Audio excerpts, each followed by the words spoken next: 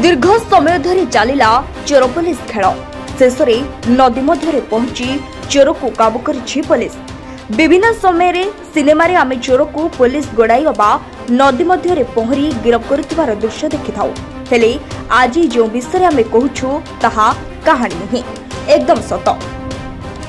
ସୂଚନା ଅନୁଯାୟୀ କେନ୍ଦ୍ରାପଡ଼ା ସଦର ଥାନା ଅନ୍ତର୍ଗତ ତରାପୁରଠାରେ ଥିବା ମା ଶାରଳଙ୍କ ମନ୍ଦିରରୁ ଗତ ତେଇଶ ତାରିଖ ରାତିରେ କେହି ଦୁର୍ବୃତ୍ତ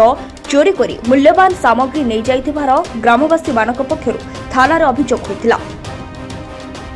অভিযোগ পাইবা পরে সদর থানা অধিকারী সরোজ কুমার সাহু তৎক্ষণাৎ তদন্ত আরম্ভ করে জামিনে আসুথিবা অপরাধী গতিবিধি সম্পর্কে টেকনিক খবর রাখুলে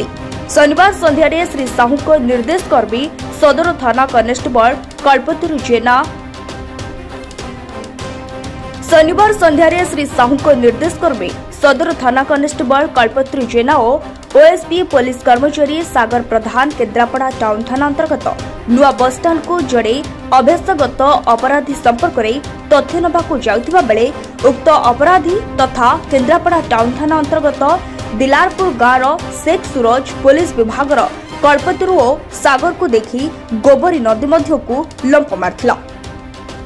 ଅପରାଧୀ ସୁରଜ ଖସି ଯାଉଥିବା ଦେଖି କଳ୍ପତରୁ ମଧ୍ୟ ଗୋବରୀ ନଦୀକୁ ଦେଇ ତାର ପିଛା କରିଥିଲେ ସୁରଜ ଗୋବରୀ ନଦୀର ପ୍ରଖର ପାଣିରେ ପହରି ପହରି ଯାଇ ଏକ ବୁଦା ମୂଳରେ ଲୁଚିବାକୁ ଚେଷ୍ଟା କରୁଥିବା ବେଳେ କଳ୍ପତରୁ ସୁରଜକୁ କାବୁ କରି ନେଇଥିଲେ